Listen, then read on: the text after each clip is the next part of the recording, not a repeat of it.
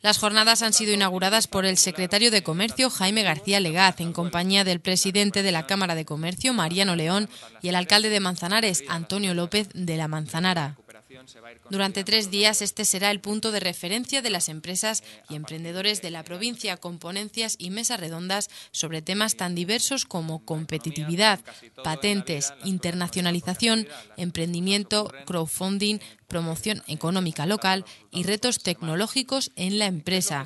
El alcalde, por su parte, añadía también algunos de los datos aportados por el informe de tesorería, datos muy positivos, asegura, para la localidad. Estamos hablando de, saldos netos de 26 empresas más cotizando en Manzanares, de 50 autónomos más en Manzanares y de cerca de 600 personas trabajando más en Manzanares. Eh, el desempleo ha bajado alrededor de 300 solamente, eso significa que Manzanares es un centro de, trabajo en los cuales muchos pueblos de alrededor tienen aquí a personas trabajando en estas empresas. Seguidamente tomaba la palabra el presidente de la Cámara de Comercio, Mariano León, que agradecía y felicitaba por la organización de las jornadas a pesar de los momentos difíciles.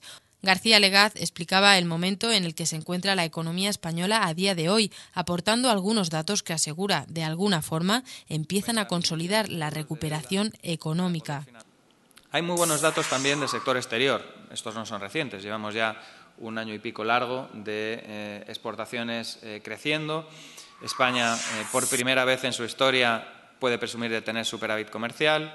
España es ahora mismo el tercer país del mundo en crecimiento de las exportaciones, que se dice pronto, solo detrás de China y Reino Unido.